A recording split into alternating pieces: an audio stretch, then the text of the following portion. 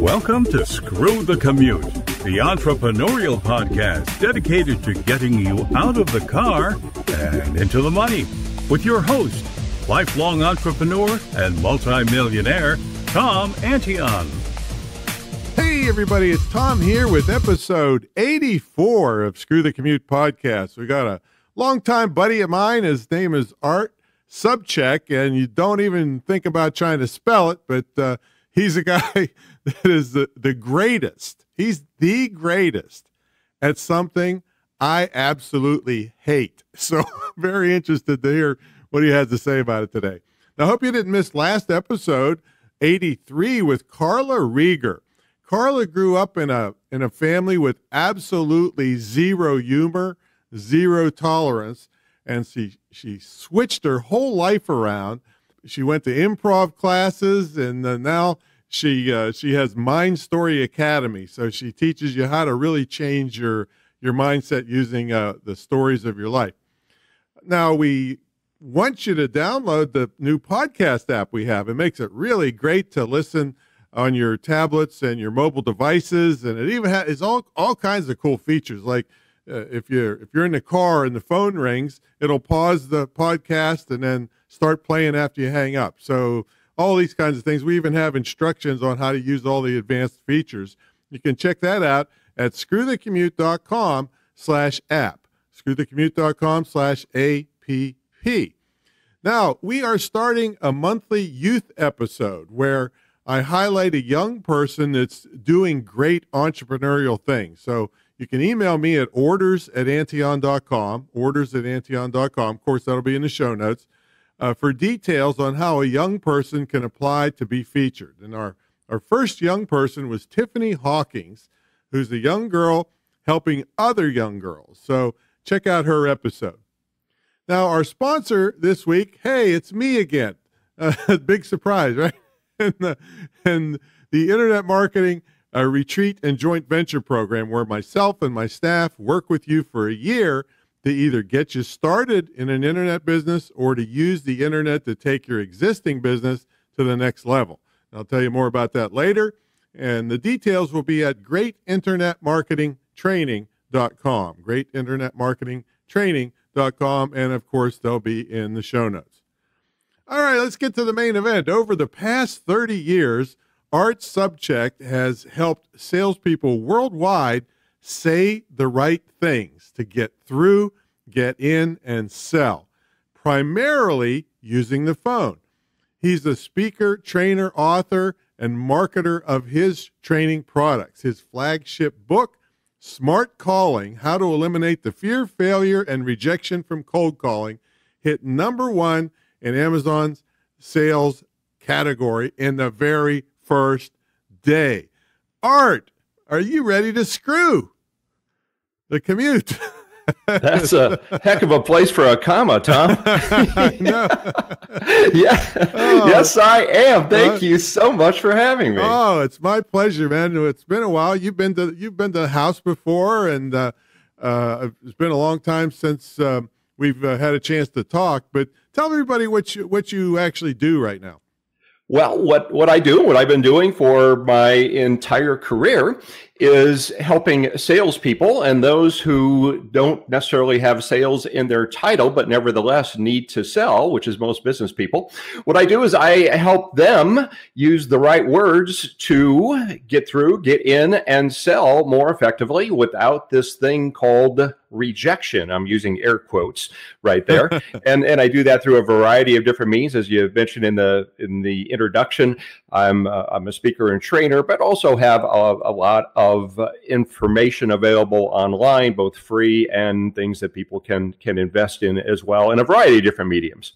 Now, uh, you heard me say, and you probably run into a lot of people like me that just can't stand it. Uh, what would you say to to people? Uh, about the benefits of getting over that uh, hurdle of hating this uh, this type of uh, marketing.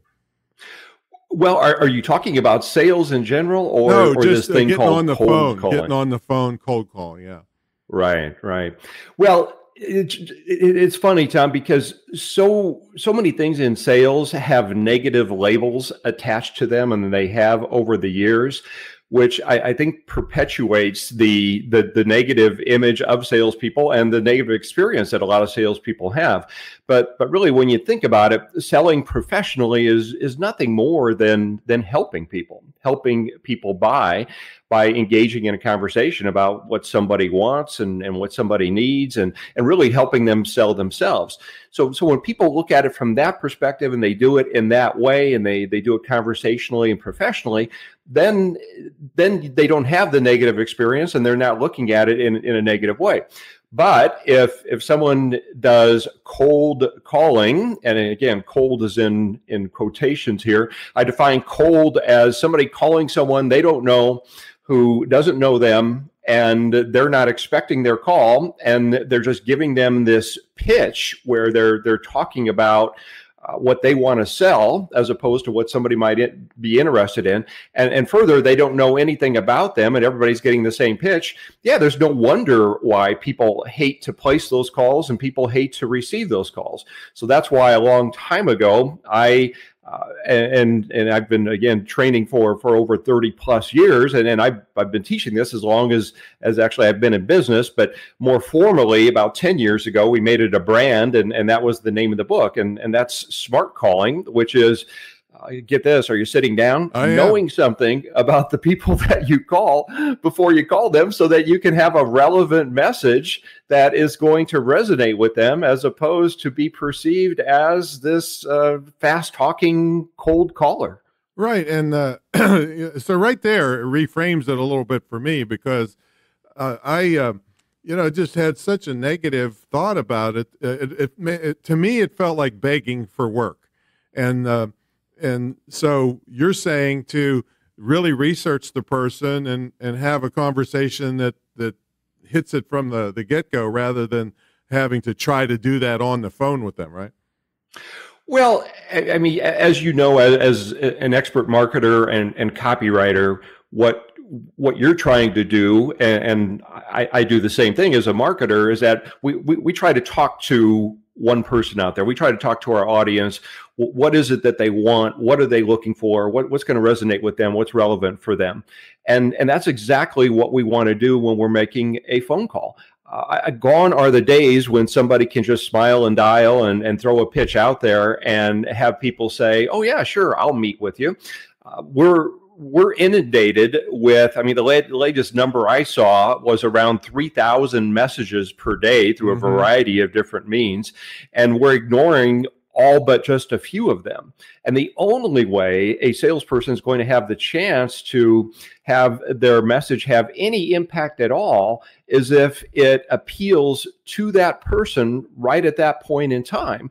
And it, it, has got to be personalized, it's got to be customized, and it's got to relate to something that's going on in their world or in their mind so that they're going to stop what they're doing, lean in, and say, hmm, okay, there might be something here for me.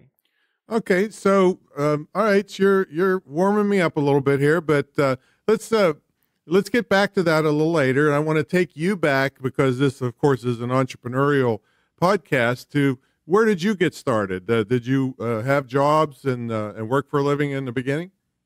I I did actually. I I had all kinds of jobs, just about every job that you could think of in in high school and, and in college. Most of them were sales jobs. I was I was actually a DJ for my four years of college, so I played about 400 wedding receptions wow. and and parties, which was which was a great job. Which actually was great training for for what I do now, both the speaking and the sales part. Well, and you get, you get the, the interesting thing that coming up. I'm sorry. You? you get a lot of drunk people coming up to you in the, in nowadays. like oh yeah, I can't tell you parties. how many times people came up and said, "Dude, can you play Free Bird?" Free Bird, Free Bird,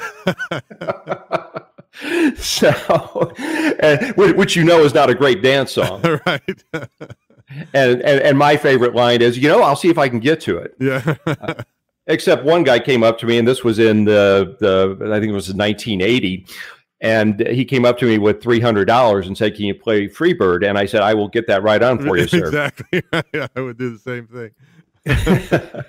but anyway, to answer your question, I was always entrepreneurial. I was reading Entrepreneur Magazine and Inc. Magazine when when I was in college, mm-hmm. and it, mm-hmm. it, those magazines both go back that far. Right, right. And I always knew I wanted to do my own deal But by the same token, when I graduated from college, I also got married the week after I graduated, and I oh, thought, you know, I, I, I, let's go out there get some experience and let's get a let's get a little bit of uh, money coming in. So I had a number of job offers, and I took one that was attractive mainly because it took me to Kansas City, and I'm a big Royals fan. So I uh, took a job with the old AT and T in sales, and as it turns out, I was working at their their flagship. Uh, they didn't use the term call center then. They called it the the Bell System Sales Center, which was a, a a telemarketing center. They were selling telemarketing, which wasn't a bad word at the time, and essentially was showing businesses how they could how they could use the phone to to get more business. That's how they could that's how they could sell more of their services. And from from the first day, I I was trying to figure out how can I go out and do this on my own. Well, it only took about eight months before I left, and and I actually left with a partner who had the same idea, and we left out. We left, and I was at the the ripe old age of 23, and started a consulting firm, uh, a telemarketing consulting firm, showing well, companies okay, how they could on. use the phone. Hold on, hold on. So uh, uh, that you got the idea, and you said it took about eight months. Were you planning your exit, or did you just one day say, "I'm gone"? Uh, did you save up some money? How did you make that transition from uh, the the corporate paycheck to going out on your own? Y- uh, yes, to to a couple of your questions. I was planning my exit the entire time because I'm always thinking, okay, how, how am I going to be able to do this on my own? So we were consulting with clients again over the phone, how they could implement an inside sales department. At the, at the same time, I'm honing my skills on and, and of course getting some great education in, in how to do that. And in, in the meantime, I'm planning, okay, how are we going to make our break? What are we going to do? But also, here's a great lesson for the audience. I also made a huge mistake in that we didn't have clients in hand with, with revenue from day one. Mm-hmm. And then we also made the mistake of going out and renting an office and, and buying office furniture. Uh, so, so that's not recommended. Yeah, I, I think I bought all the stuff that you uh, got rid of. I, I, uh, I, I went to Craig. I furnished my entire school, four thousand square foot building with gorgeous cherry desks and everything for fifteen hundred dollars, and any one of them would have cost fifteen hundred dollars. But uh, you know, some other business made that mistake, and then they had they went out of business because they bought all this stuff and didn't have the revenue. So it was in a it was in a warehouse. The guy couldn't wait to get rid of it for any amount of money and I, I, did the same thing later on in life but at, at that point that was uh, that was i call it tuition. There you go. Yeah liquidated uh, damages i call it.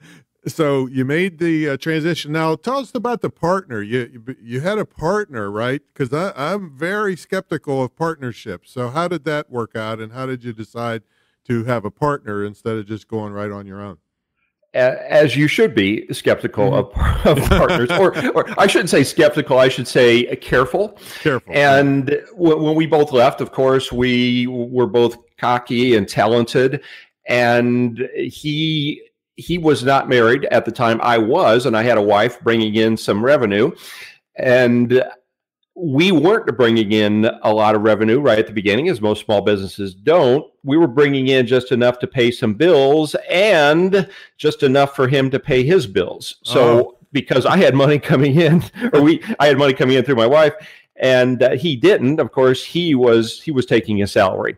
And then, and as sometimes uh, partnerships uh, play out, one person does a lot more work than the other one, mm-hmm. and you might guess who that one was.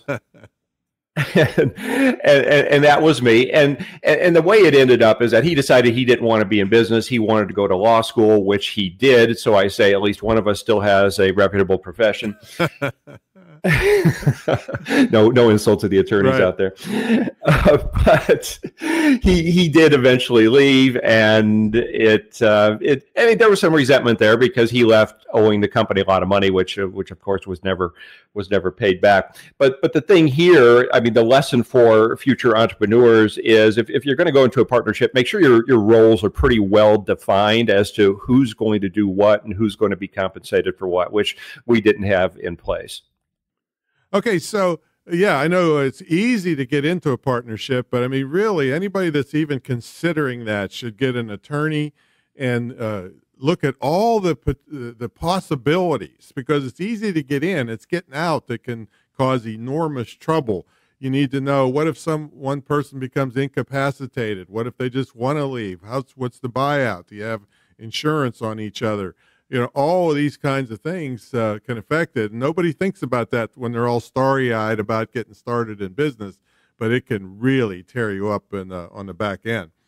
Uh, go ahead. Yes, exactly. Great points. And and we we didn't have that type of agreement. Plus, I was the one who who put in pretty much all of the money.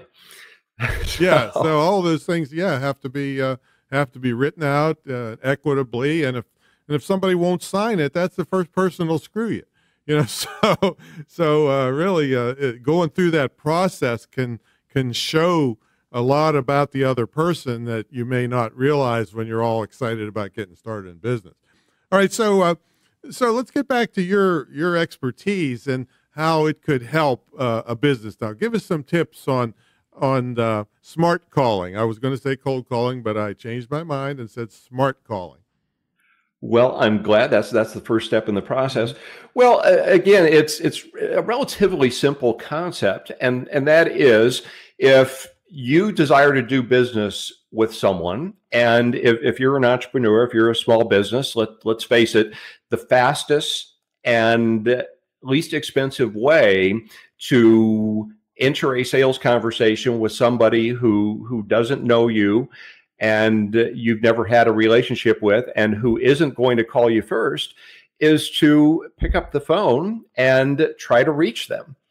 Now, the problem is too many people don't know how to do it and they call and they start talking about their thing which is one of my favorite sayings don't talk about your thing. People don't buy your thing. They they only buy a potential result so so what we should do instead is go through this process where we really want to understand first of all why would someone be interested in in what I have to sell. And then I really need to do some research on what's going on in that person's world.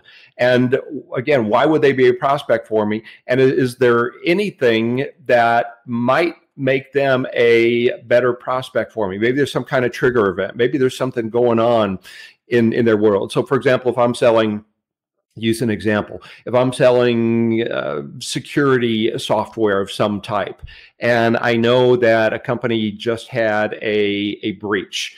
Now, of course, that's a huge trigger event that's going to make them a more plausible prospect for, for what I have.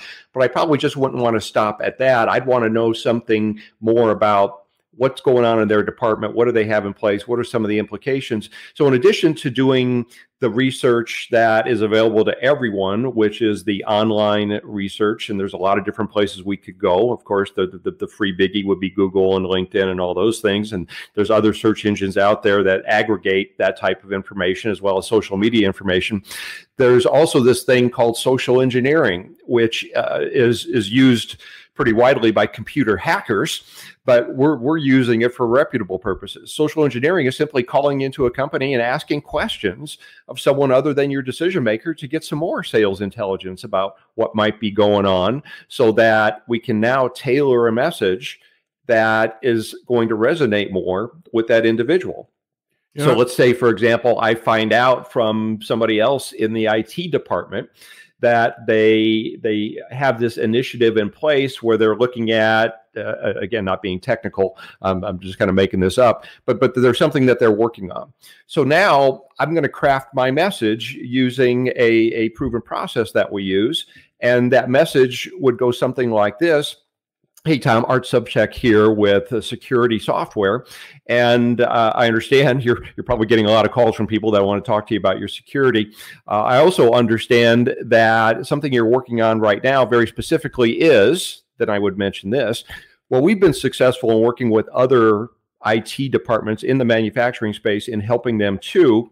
And, and again, you'd fill in the blank mm-hmm. there with your possible benefit. And then I would end with, and I'd simply like to ask you a couple questions, see if we might have the basis for for uh, further conversation. So, so what I've done there is I've related that I know something about you. I've talked about some possible value. And within that possible value, I've mentioned some social proof. So I've worked with others doing that. And notice I haven't talked about the thing, I haven't talked about the software. I also didn't ask for a decision which so many salespeople do today. They call up, and you probably get these calls. Mm-hmm. Hey, Tom, what I'd like to do is to uh, you know take 15 minutes of your time, or schedule a meeting with you, or get you on a web demo. It's like no, it's way too early for that. The biggest decision we want them to make at this point is to stay on the phone with you for another 15, 20, 30 seconds, and then we continue earning the right to stay on the phone with them. Now, your goal at this point could be an appointment, or it might be just to engage them right there in, in a further conversation. But all I want to do here is get them to simply say, yeah, sure. Okay. What do you want to know? Well, um, the only flaw I see in that, in that example that you made up, is that um, the FBI knocks on your door. How did you know about this this software? well, here's here's here's the funny thing is that when I teach this in in workshops and seminars, mm-hmm. if if people aren't doing it, and if they have a little bit of resistance, they're going to say, people are busy. Yeah, are, are, are they going to answer questions or they're not going to answer questions? And, and my response to that is just try it. People are conditioned to answer questions if you ask them. I mean, we've been answering questions our entire lives. Mm-hmm. Now, I also have a process where we, we give a reason for asking. So, for example, if I call into uh, I, I, mean, in, in our case, we'll call into sales departments and we'll, and we'll talk to salespeople because, of course, we're selling sales training, and we, and we all know salespeople like to talk, right? So we'll call into the sales department. I'll get a salesperson on the phone and say, "Yeah, hey, hey, Tom, Art Sobczak here with Business by Phone. First of all, I want to let you know I'm, I'm not a prospect for you, but I'm going to be speaking to your VP of Sales. And uh, before I do, there's probably some information you could help me with. I want to make sure I'm prepared." Uh, so tell me, I, I, see that you guys are doing cold calling there, and then I go into the questions. So, so what I did there was I, I gave a reason, and what this does is th- this actually follows Cialdini's principle right. of the because. Mm-hmm. Because any anytime you make a request, if you give a reason for it, as as minimal or as or as stupid as it might be, it is proven that people will give you more and better information. Yeah, let's stop for a second uh, and tell them about uh, Robert Cialdini's book. Uh, it's called Influence: The Psychology of Persuasion. I probably wrote it, read it seven times, and everybody I know that makes a lot of money has. So uh, that's what he's talking about with Cialdini. So again, if if if you're a salesperson and or not even a salesperson, but you need to sell, the more information that you get and the more you're able to tailor your initial opening and your your benefit statement i actually call it your possible value proposition the more conversations you're going to enter into because now people are talking about their favorite subject which is themselves. I think your your first name is perfect because it seems to me there's an art to this a little bit. and, uh, uh, that's that's that's actually the name of my podcast, The Art of Sales. There you go, but, perfect. but actually, it, it is Tom. There, it, it's part art, no pun intended, but it's part science mm-hmm. as well. Yeah, so anybody I mean, can learn to do this. It doesn't. You know, it's not like you have to be a, a Michael uh, uh Angelo painter uh, to to to really do well with this. I mean, sir, I'm sure some people do better than others, but you can learn these skills, right? Oh, absolutely. I mean, the, I, I always suggest that there's no born salespeople any more than there are born airline pilots, right? Mm-hmm. So there there is an art and a science. The science part most definitely can be learned by looking at the process and the words and the mechanics. And then the art part is the performance part. And the performance part comes from applying the, the, the scientific part, learning all we can, but then it, it's a matter of doing it, but doing the right things in the right way yeah, it's it's kind of like golf. Sometimes people will say, "Oh, geez, I, would I'd be better if I just played more." I mean, I was playing with a guy. We got got hooked up with uh, with a single, and the guy was absolutely awful. And and he spray his drives out out of bounds, and he just say, "Man, if I if I just got to play more, I'd be better." I'm thinking to myself, "No, you wouldn't. You'd just be better at being bad because you're not doing the right thing. His, his swing was horrible." So if if if somebody knows the right things to do and then they they practice it and then they learn from their mistakes, it's like anything else yeah, you you can be great at this. Some of the best salespeople I've ever been around, I've been around some very wealthy salespeople. They weren't what you would call naturals, but you know what? They they worked harder than almost anybody else, and they had the desire to be better. Mm-hmm. So, anything uh, crazy, funny, bizarre ever happen on one of these calls or during this uh, your career? Well, yeah, and actually, it, it, wasn't necessarily on a call. I mean, there was a lot of stuff that that's that's happened on calls. but uh, let, let, me share an experience. Being a a speaker, and you know this because I know you you were on the road for a while, and I certainly put my time in with over a million miles and you know, my share of hotel meeting rooms. So this is probably about 15 years ago. I had a client that a lot of people might be familiar with. It's uh, Vitamix, you know, the mm-hmm. blender. Mm-hmm. Yep and I had done a program for them, and they called me maybe two years later and said, "Hey, we're ready for a refresher. Can you come out? You pretty much repeat the same thing you did a couple years ago." Hey, yeah, that's awesome. So we set the date. It was a couple months in the future, and at the time, I was using a travel agency. So I called up the travel agency. I said, "Hey, I need to book a trip to Atlanta for these days, this time." Da, da, da. Okay, done deal. So day comes, I get on the flight like I normally do, get my rental car, I get out on the Beltway and you're probably familiar with Atlanta, mm-hmm. right? As soon yep. as you get out of the airport, you got that beltway there. We got the interstate. So I'm driving down the interstate, and I'm going, hmm, you know, this actually doesn't look familiar. And then I'm thinking, wait a minute, Vitamix is in Cleveland, not Atlanta. now, I mean, come on, give me a break here. Outside the airport of Cleveland and Atlanta, you kind of got the little Beltway industrial. right. Okay, maybe not. But, so luckily, I uh, I was able to rush back to the rental car place, dump the car off. I just screamed at him saying, "Don't need it. You know, go ahead, and charge me whatever." and I, I, I was booking a new flight, which luckily I was able to get one that night to Cleveland, and uh, got in late at night, and it, it only cost me about five hundred dollars out of my own pocket for, for that that screw up. Oh man. Yeah, I mean, uh, yeah, we could probably do many, many issues on travel crazy stories. You know, I remember one time I, some right before I had to go into a luncheon program, I had to fly in in the morning, and it was uh, three degrees below zero, and the guy sitting next to me, as soon as we got up off the plane, spilled a whole diet coke on my lap, just soaked me, and I Ooh. go outside and my pants freeze.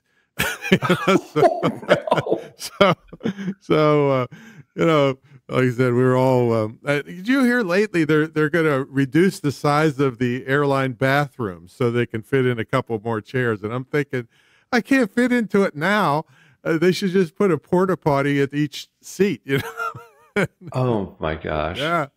So uh, I I don't know how how some people right now fit in fit in the seats. Oh my god, goodness, yeah. I mean, I lost hundred pounds since the last time you saw me.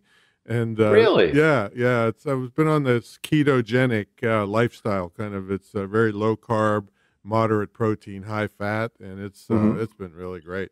But well, good uh, for you. But anyway, uh, what do you like best about working for yourself, and what's the worst part?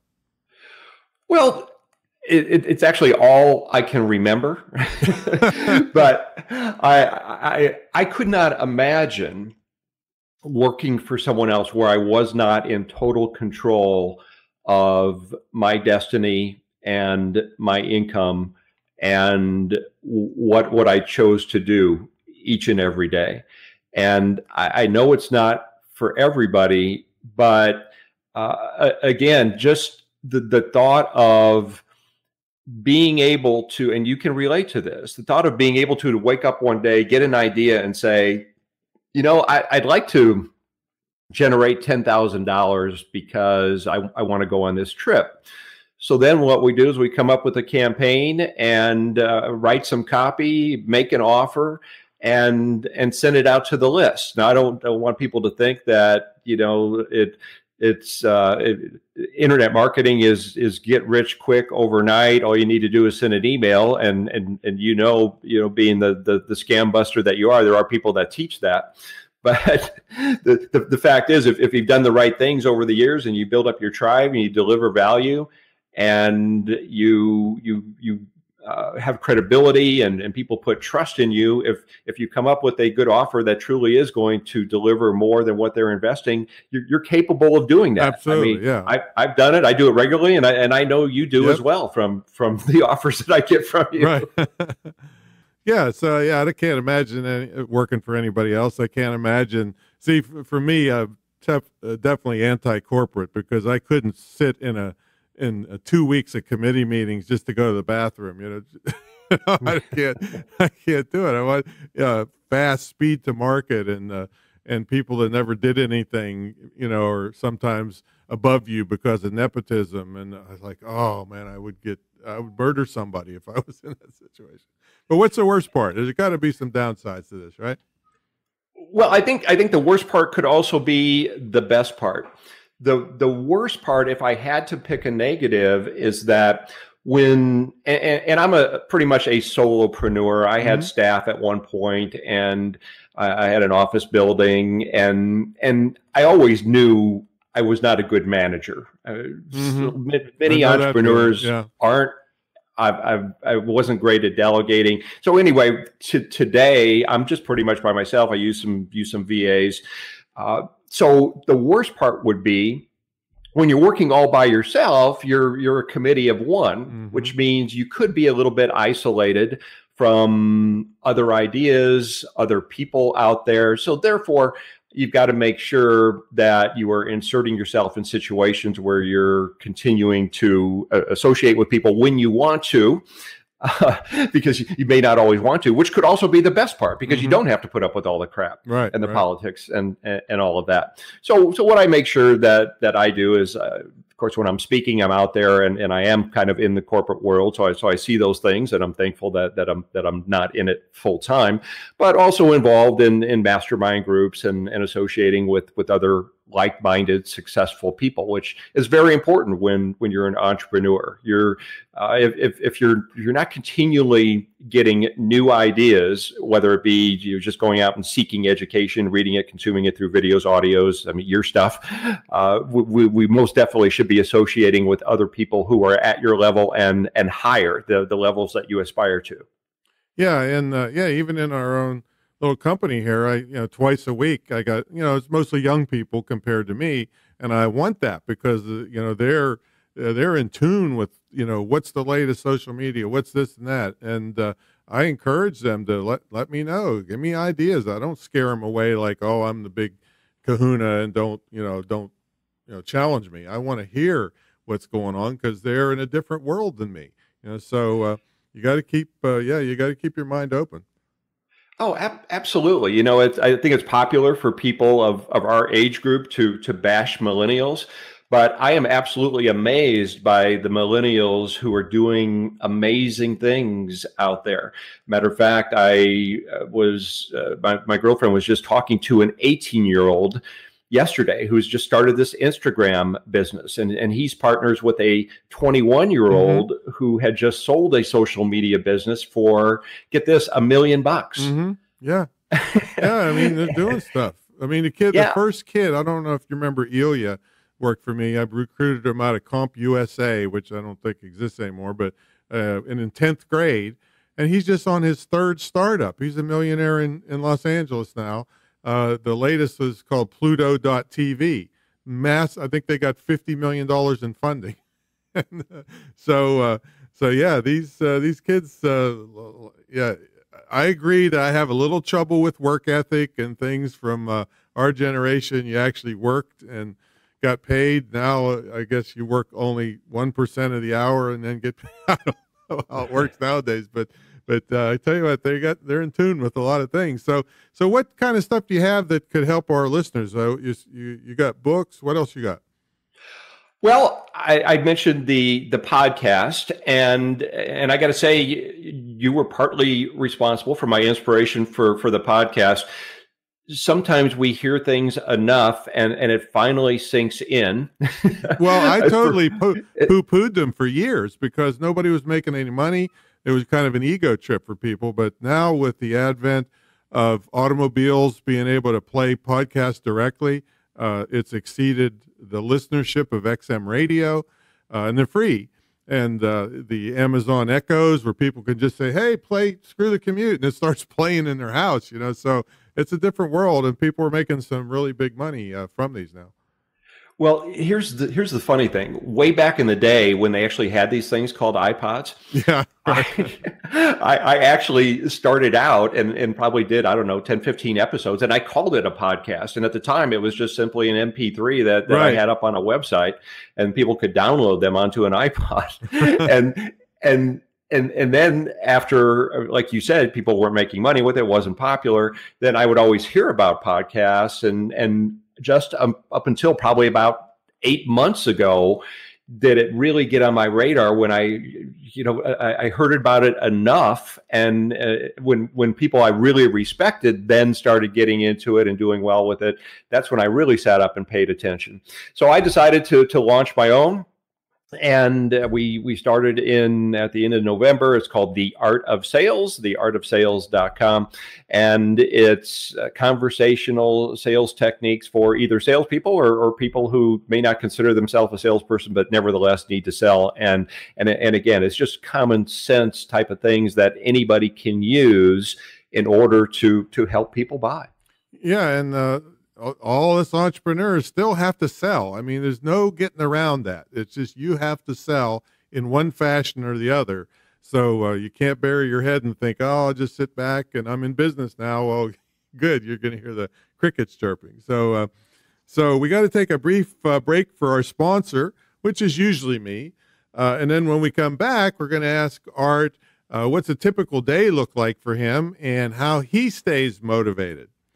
Now, folks, uh, I kind of turned internet marketing training, uh, the the world of that on its head around the year 2000. See, people like me were charging fifty to hundred thousand dollars up front to teach what we knew to clueless business people who refused to learn it themselves. And and uh, you know, I'm a small business advocate, and I knew many small businesses couldn't af- you never afford that kind of upfront money.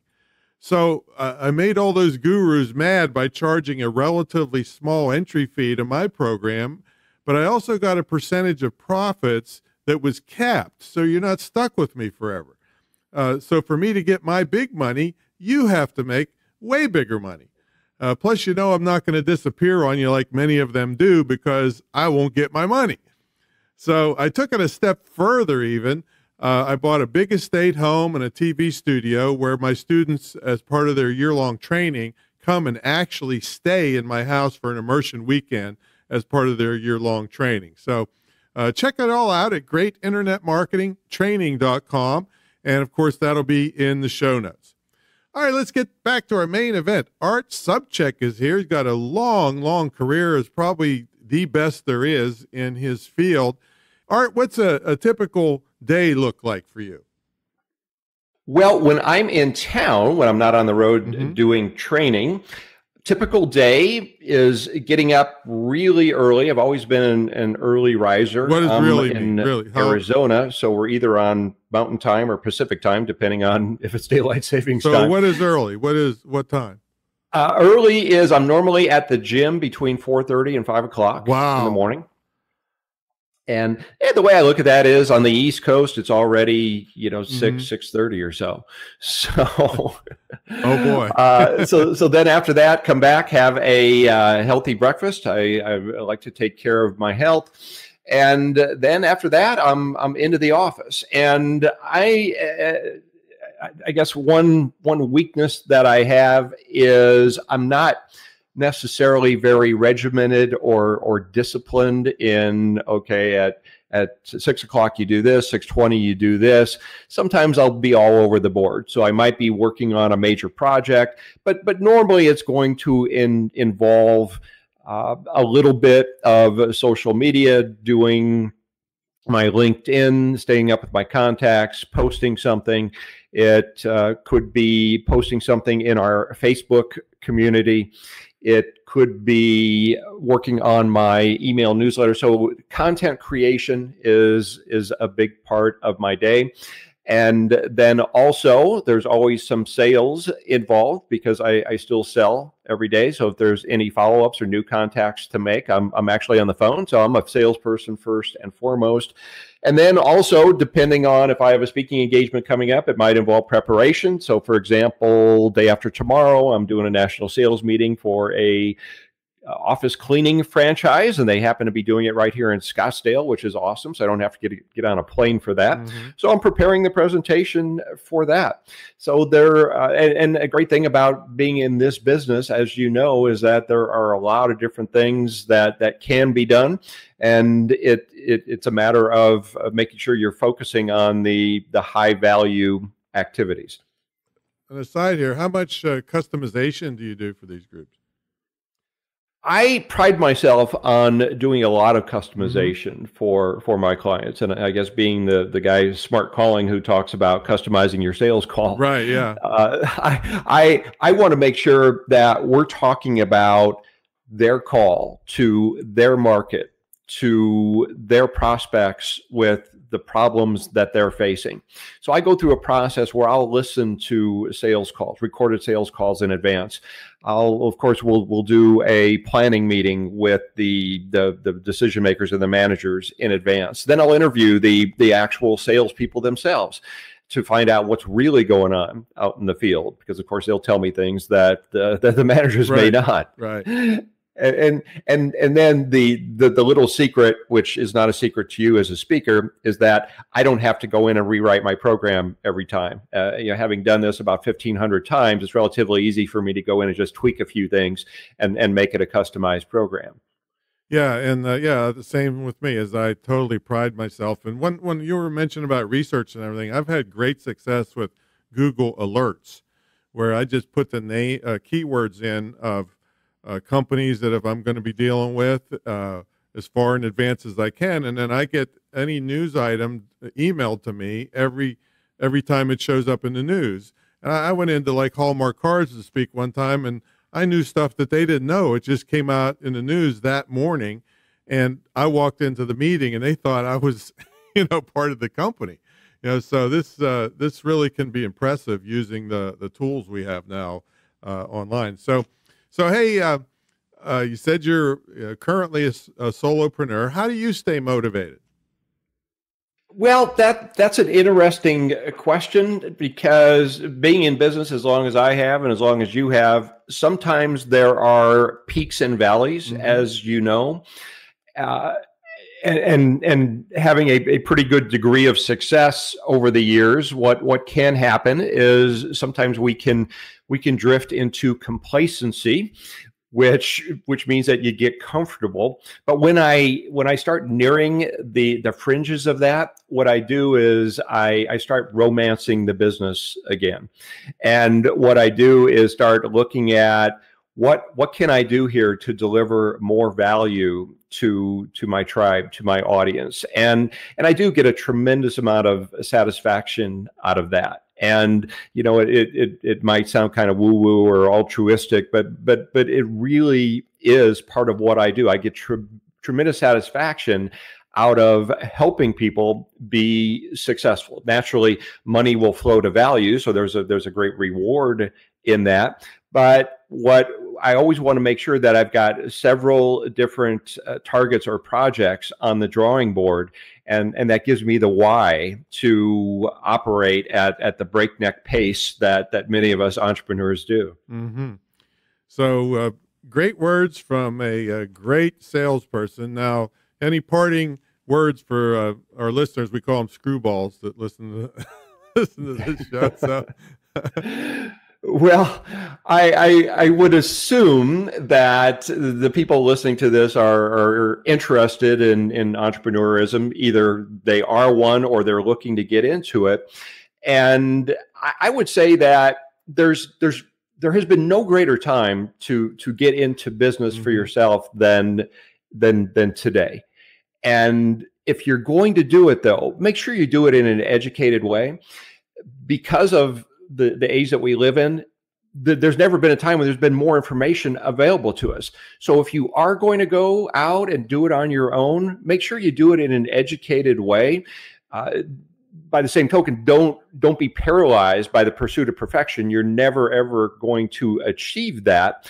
But uh, I'll give you an example, Tom. I'm I'm a, a professional cook in, in, the sense that I've been paid for for cooking before. I'm a, I'm a competitive barbecue cook. So oh I, wow! I, done barbecue contests, and when I'll cook for a party or something, people will say, "Oh my God, this is the best barbecue I ever had. You should open up a restaurant."